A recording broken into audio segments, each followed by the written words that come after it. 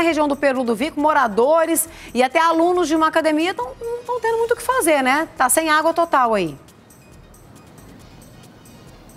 Sim, Manuela, muita gente prejudicada nessa segunda-feira porque estava contando que a água voltaria ontem até mais ou menos 4 horas da tarde, que era a previsão da Saneago, mas isso não aconteceu. Estou aqui do lado do Pedro Henrique, que é personal técnico aqui dessa academia de crossfit aqui na região do setor Pedro, e ele estava me contando, vocês estão sem água, já avisaram até mesmo os alunos, né, Pedro? Bom dia. Bom dia, nós chegamos a avisar os alunos, mas é algo que prejudica, né? Questão de hidratação, higienização da academia e outras coisas.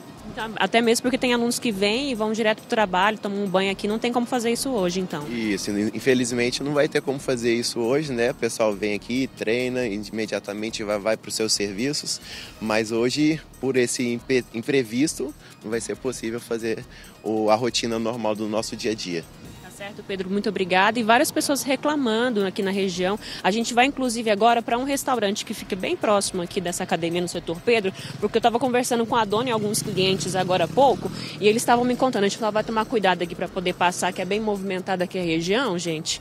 E é, mostrando que teve essa dificuldade, porque a previsão era para que a água voltasse ontem às 4 horas da tarde, não só aqui em Goiânia, mas em vários bairros de Aparecida, mas muitos locais estão faltando água água. E esse reabastecimento não voltou ainda. Vamos entrar aqui, ó, conversar com a dona do estabelecimento. Deixa eu só ver aqui onde, onde que ela tá.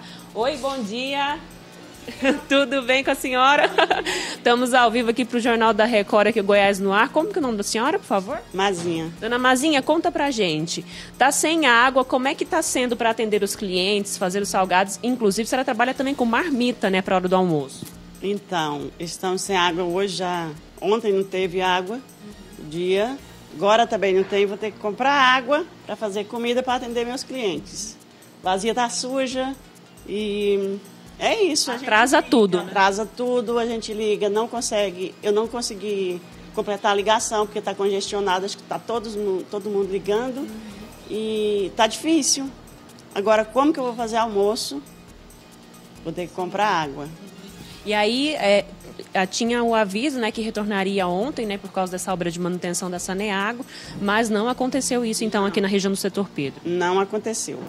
E ontem, inclusive, a gente ligou, ligou várias vezes, mas e até os clientes, agora há pouco, né? O pessoal já saiu para trabalhar, estava reclamando também, né? Que nem banho o pessoal conseguiu tomar banho, né? Sim, chegou, eu já tive cliente aqui hoje perguntando se tinha água, não teve, não chegou água, foi trabalhar sem tomar banho.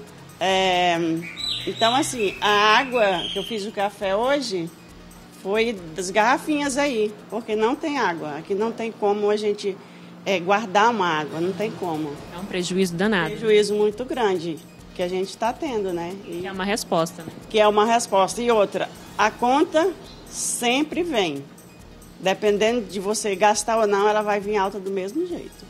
Então não tem desconto em dois ou três dias de falta de água, não tem muda nada. Não muda nada. Aí vamos esperar, né, para ver qual é a desculpa deles agora.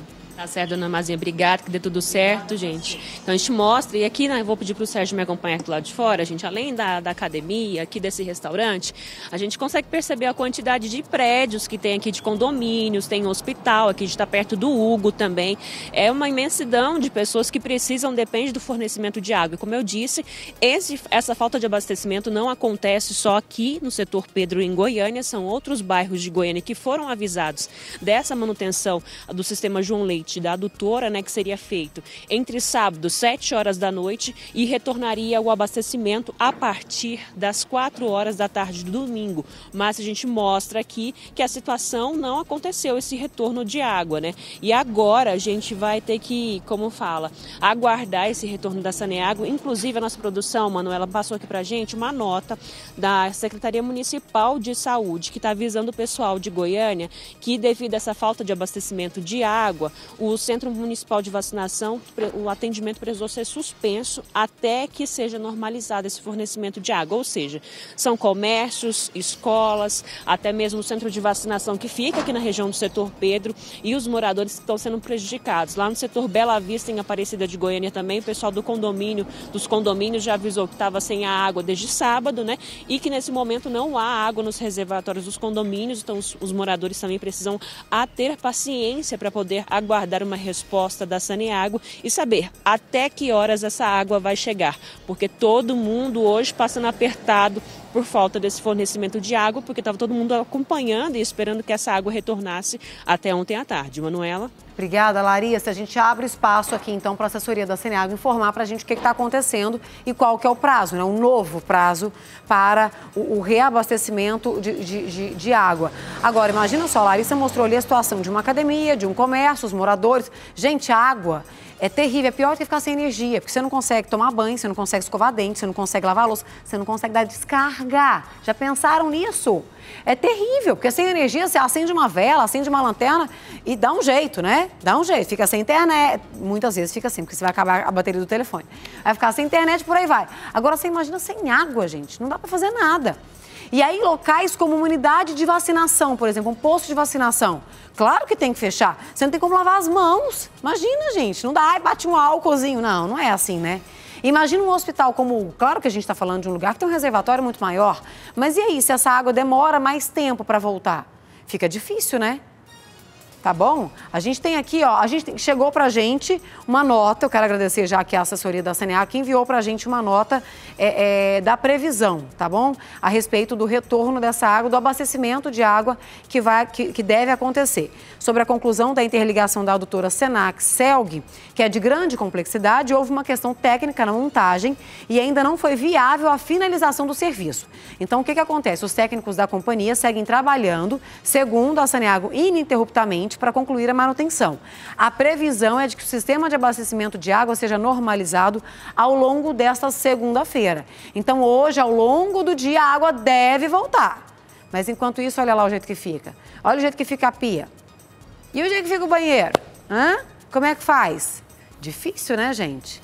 A gente vai continuar acompanhando, tá bom? E os moradores que quiserem podem ir. Bom, vocês já sabem que de fato deve voltar ao longo do dia hoje. Então, conforme for retornando, vocês puderem informar pra gente, ou se demorar mais, né? For passando 10, 6 da tarde, vai ter que ter paciência, até, gente? Até umas 6 da tarde, então vamos esperar. Deu 6 da tarde nada, vai comunicando a gente aqui o nosso jornalismo 982220016, que a gente vai cobrando daqui, tá bom?